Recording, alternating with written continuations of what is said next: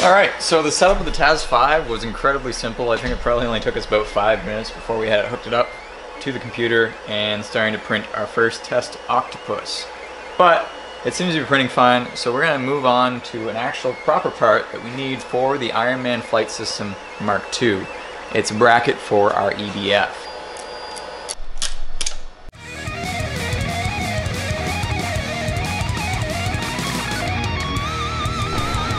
Alright, so we got our first 3D printed part off the Taz 5, and we've already redesigned it and started printing a new one.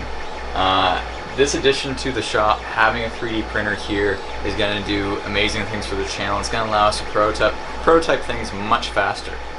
So, you're probably wondering, what is this bracket even for? As for these guys, this is an electric ducted fan, which we'll be using for the Iron Man Flight System Mark II. It's 6.3 kilowatts, which is equivalent to 8.5 horsepower with a single turbine.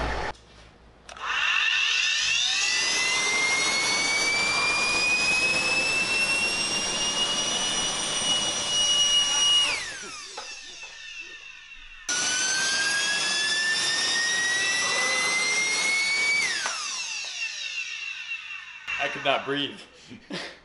I literally could not breathe. We have five of these, and we're hoping to get more.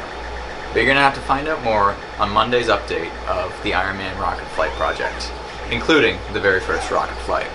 Stay tuned.